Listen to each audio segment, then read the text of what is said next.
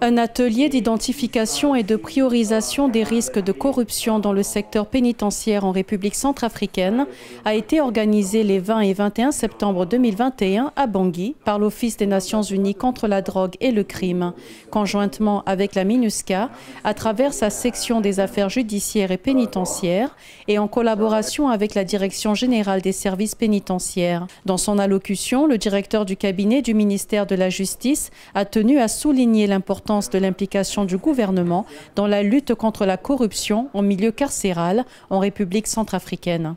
À l'instar de plusieurs secteurs, le secteur carcéral n'est pas épargné des risques de corruption,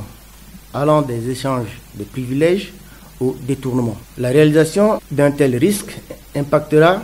négativement et de façon très considérable sur le fonctionnement normal de l'administration pénitentiaire. Qu'elle soit active ou passive, qu'elle émane d'un membre du personnel pénitentiaire ou d'un détenu, la corruption reste et demeure l'un des plus grands facteurs de déséquilibre au sein de l'établissement pénitentiaire. La MINUSCA, dont le mandat inclut l'appui à la réforme du système pénitentiaire conformément aux normes et standards internationaux, participe activement à l'organisation de cet atelier dans le but de contribuer à une meilleure gestion des établissements pénitentiaires, ce qui se matérialise également par la lutte contre la corruption pour atteindre avec succès les objectifs des réformes. Les multiples avantages pour l'État et pour chaque citoyen des réformes engagées explique le soutien très actif que leur apporte la MINUSCA. On comprend dès lors que l'atelier qui démarre ce jour soit organisé à l'intention des acteurs pertinents du système pénitentiaire centrafricain afin d'accroître les chances de succès du projet dans son volet amélioration de la gestion des prisons à travers notamment la promotion d'une éthique professionnelle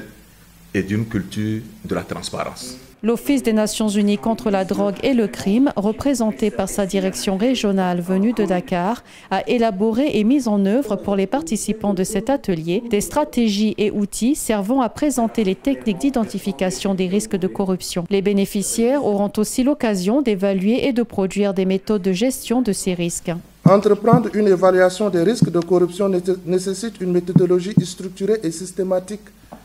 conçue pour identifier